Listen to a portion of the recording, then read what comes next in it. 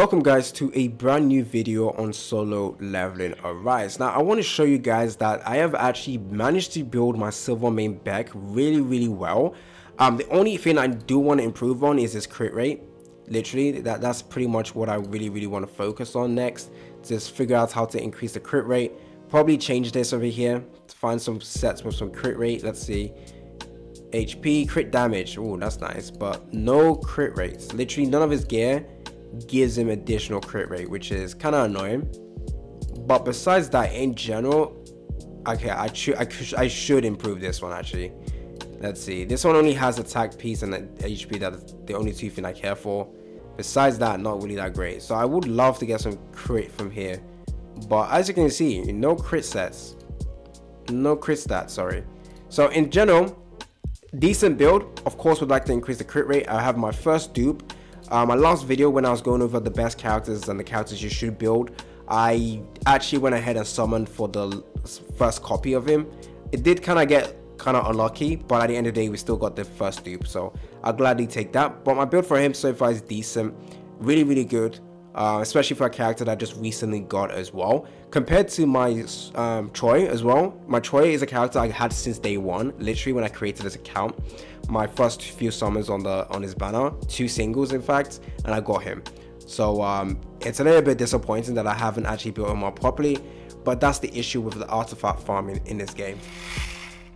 Okay, so future AC Gamer had to cut in here. So I've seen a lot of people diss um, A0 Baek and saying Baek is a terrible unit without dupe, which makes no sense. His damage at A0 is actually very, very good. For my testing before I got him one dupe in, his damage was insanely, insanely good. And people keep misunderstanding why people say Baek is an annoying character to go for or you shouldn't go for Baek. It is not because his damage sucks, it is because he has to lose HP when you shouldn't really be losing HP to do good amount of damage. And that is the main issue with Baek. Even at A5, you'll still have to lose a bunch of HP to still deal a huge amount of damage. So at the end of the day, people saying that A0 Baek is garbage don't really understand why people say that. At the end of the day, A0 Baek, A5's Baek, the only very difference is the amount of damage they do. At the end of the day, you still need to lose a bunch of HP. So therefore, the issue still stands. He has to lose a bunch of HP to do an insane amount of damage. And that is what people don't like about this character. Not the fact that he can't do good amount of damage. For my testing at A0, he was able to bring back or bring down the bar of the age of the boss to 40 and from the testing you will see right now even with my first dupe inside him it was only able to bring it down to 37 so honestly in this game i don't think dupes are i think overall dupes are essentially going to make your characters more broken but it's not like uh, something you need to go for. So yeah just a quick disclaimer before we carry on with the video. It is extremely hard to get the good artifact sets that you want um, but for him, all he really wants is attack, damage increase, and uh, defense penetration. Those are the really most important stats for him. So I'd love to improve his um, overall build, but right now, not much I can do. And the reason why his power level isn't that high is because the gears are terrible. So I'm not really investing into it. I've left it all at plus 10 and I'm not going to level it up, especially when I know I'm going to um, change them in the future. So uh, it is what it is.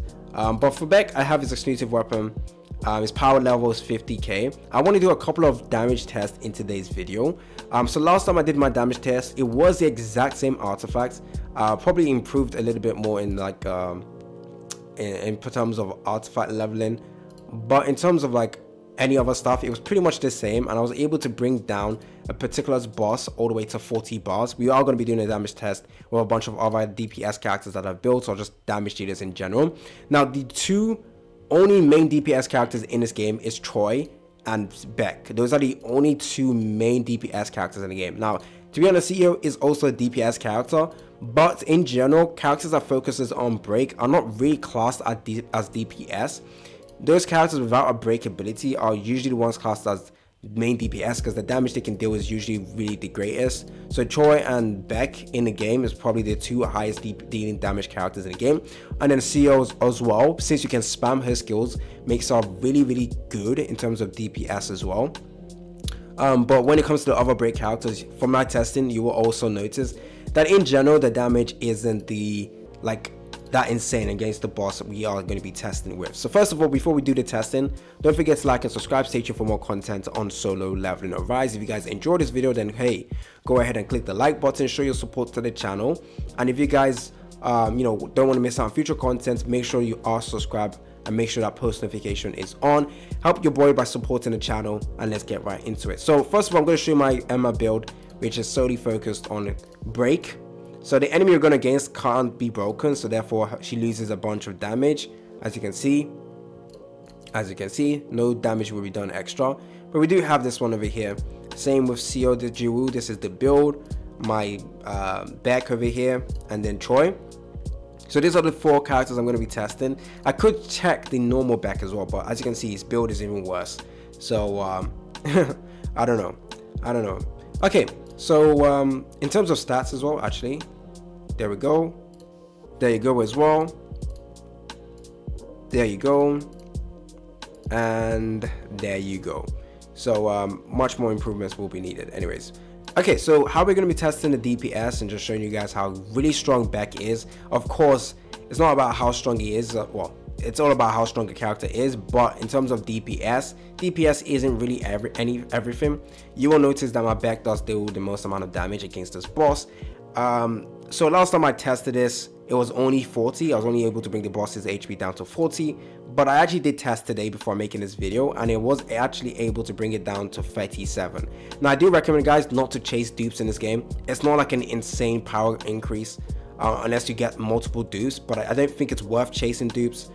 Again, I've noticed that I saw getting my first dupe for him. It wasn't like a huge, huge like, you know, buff.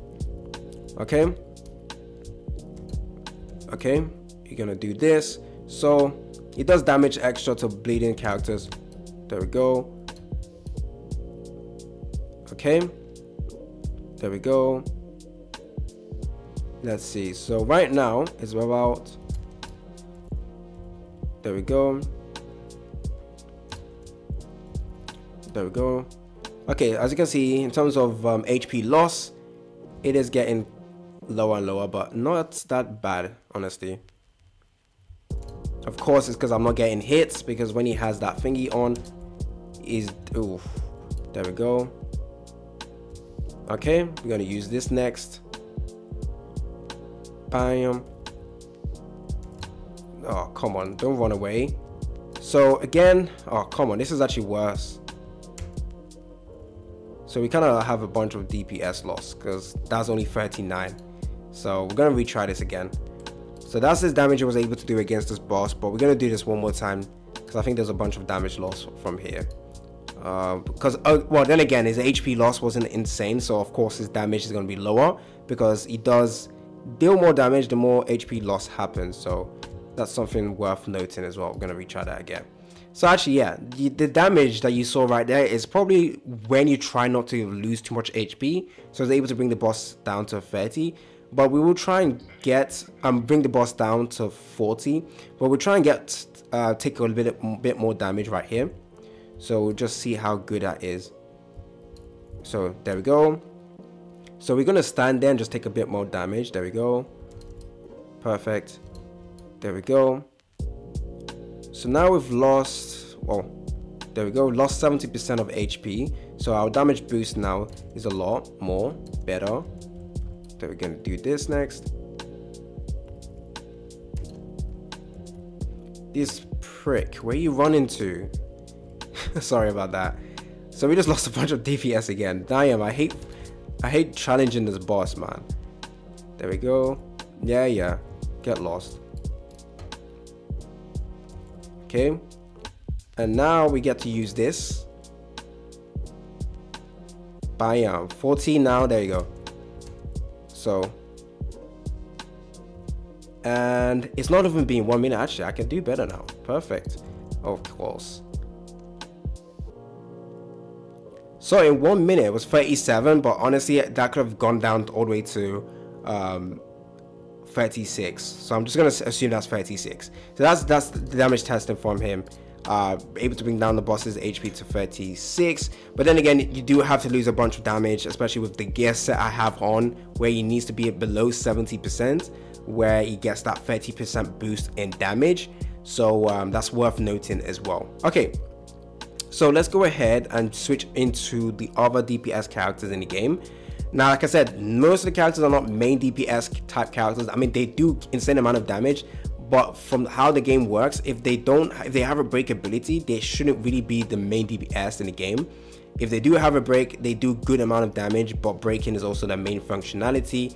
So next up, we're gonna probably take Choi in. Now, Choi is the character that I can't use the most. Like I can't, his attack rotations are well easy, but like dodging and stuff is a range character. It makes him really hard to use for me. I prefer characters that can go up in front of the enemies compared to range units. So, and anyways, let's go ahead and see. So I might have to retry this multiple times, which is going to be unfortunate, but it is what it is. Okay, we're going to run away from that. There we go. Did we just lose? We lost a bunch of HP um, damage from here. So we're going to retry that actually, because I think we missed the cluster damage. Maybe I'll use the cluster damage first, since I'll be up close first. Okay, so let's try this again properly. So the gear I have on is just probably should change it actually a bit. I should probably give him the executioner gear. Bro, why did you run away? I have the very very decent one or very dent one, which basically reduces cooldown and only gives him an 18% boost in damage. Um, I could have gone the 20% route, which is giving him the executioner accessories, but um, I think I prefer the. Uh, there we go. There we go. Perfect. Okay, there we go. Hopefully we don't get damage. Okay. Perfect. So 55 right now. Come on, we want to spam this next. Spam this next. Okay. I want to go in front of him so that if he wants to run, he would have to run right in front of me. There we go. Perfect. There we go and of course we take damage okay we're going to use the ult next hopefully we don't have to try this again because that's gonna suck. I think we just lost a bunch of damage but that's 49 right now. Whoa that came out of nowhere. And he died. So that was 48 probably should have been would have been able to get it down to 45 so we're gonna try this again. Um, last time I tested this, I believe it was 45 that he was able to bring it down to. So yeah, you saw that Baek was able to deal more damage, but just based on the way Baek works, it would make sense for him to deal more damage than Choi. But one thing you to note is that Choi's way of dealing damage is completely different. Choi's damage dealings is basically you use his skill, uh, his skill and you quickly switch out of him. You use a skill, you don't have to stay on him on field for too long compared to like Baek. Baek wants to stay on the field the most. So um, that's why he's able to do the most amount of damage as well. And Baek's, I mean, Choi's damage is all like burst, front loaded damage. Okay. And of course, he ran away. There we go. And I missed that. Again. Perfect. Okay. So, of course, there's going to be margin, there's going to be an error somewhere for my way of playing. There we go. Okay, I'm gonna stop right there. It's it's 45. I'm not gonna try this again. It's really annoying to use him. Um, but with Choi, like I mentioned, you use a skill, you quickly you switch out of him, you wait until you get his ult, or you well, you keep switching into him when he has a skill available. You use a skill and you switch out. Whereas with Baek, you wanna just stay there, use your normal attacks for a long ass time, uh, use your skills.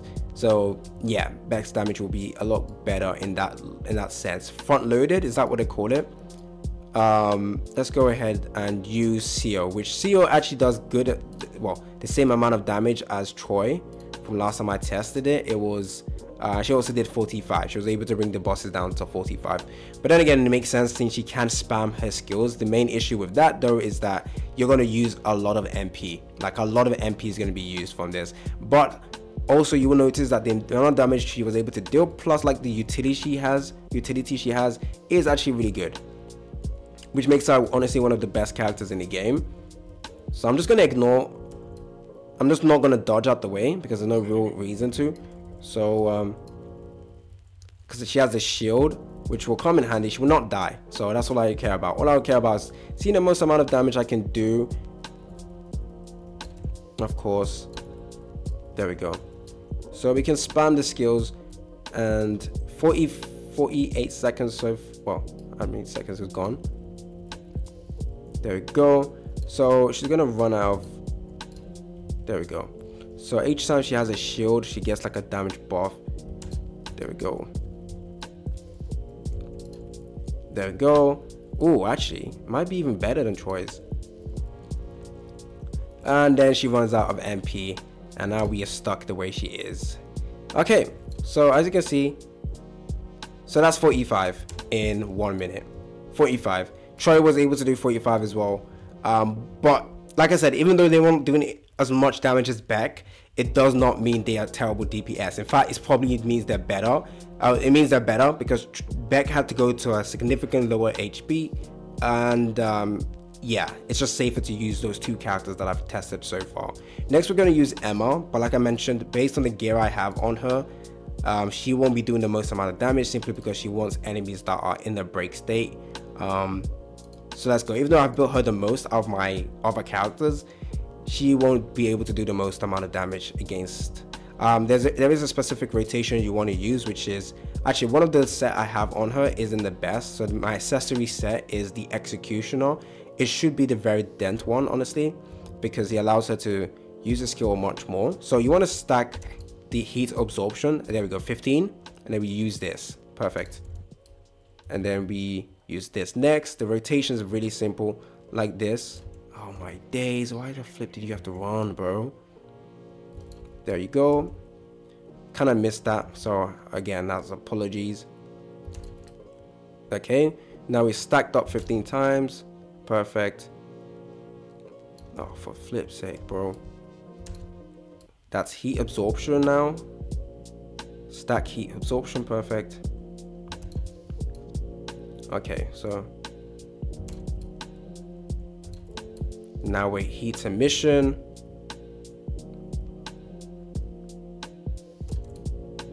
Okay, I think we're in heat emission now. I might be wrong. So the damage is usually better when you're in heat emission. So I think I was actually in absorption then. Okay. We're in heat absorption now actually. Okay, so maybe that was... There we go. Oh, sorry. Oh, that was actually worse. 50? Ugh. That was worse. That was actually not that great. But then again, my rotations could have been bad. Um, or just simply because the boss ran away could have affected the damage testing. So this is going to be our last one actually. Last testing. Of course we take damage. Of course. It's the one way he rams at us. That's kind of unfortunate. Anyways, let's try this again. Let's go. Hopefully it's not the one when he's charging at us, because then it is the one. So this is heat absorption, 10 stacks, 15 heat emission. Perfect. Heat absorption. Oh, wait a minute. So I think the rotation was meant to be. There we go. Heat absorption now.